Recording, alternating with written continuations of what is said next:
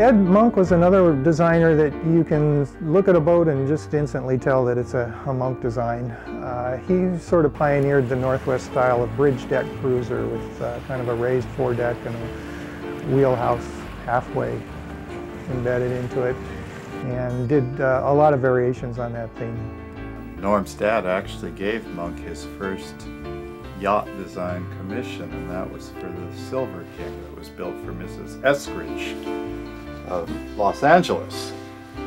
Norm could tell you some stories about Mrs. Eskridge that you probably couldn't use in this film. Well, uh, I guarantee you, you could. um, the the yacht was actually attributed to Ted Geary for a long time, but it is it is Ed Monk's first design, and interestingly, she is almost a carbon copy of Ted Geary's Hermina of 1924. Early in his career, Monk worked at Seattle boatyards and took correspondence courses in naval architecture. He put in a stint at the Blanchard Yard and then went to work for Geary. In 1930, as the Depression quieted the Seattle yards, Monk followed Geary to Hollywood, where he assisted with projects like Infanta. Three years later, Monk returned to Washington and established his own firm.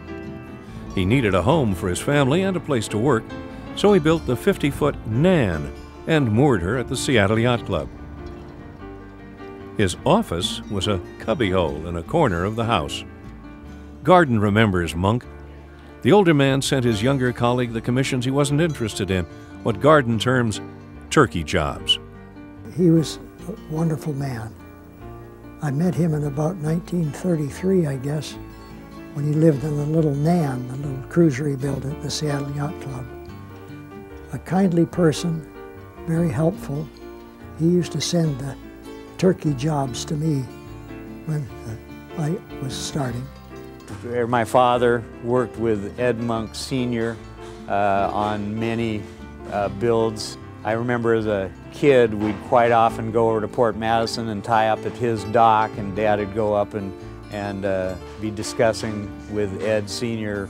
Uh, uh, one design or another, and we'd be playing, you know, catching perch on the dock and so on. Monk, Garden, and Seaborn, I think, were probably the most important people that Dad worked with. Monk's probably one of the most written about uh, Northwest designers. He started off as a boat builder, him and his brother. Um, eventually began designing boats as a hobby. Was able to apply that hobby into a a livelihood. He became one of the most prolific designers in the Pacific Northwest. He designed everything from fishing boats to uh, military boats to Pacific luxury boats to sailboats. Um, fascinating guy.